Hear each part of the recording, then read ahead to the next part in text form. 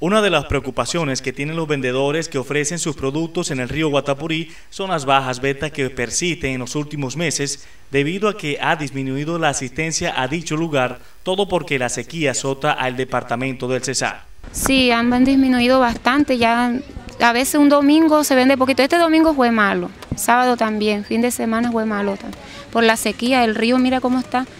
A pesar de que hay sequía en todas partes, pero aquí estamos regios, con este poquito de agua, pero todavía vamos a esperar para ver el tiempo, a ver si nos trae agüita.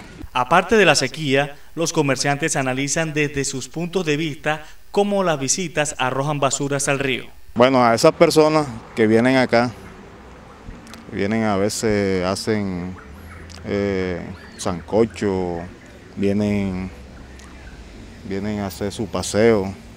Esas personas vienen, eh, deben de traer su bolsita para echar todo, todo, todo, todo el mugre que desechan de, de lo que ellos hacen.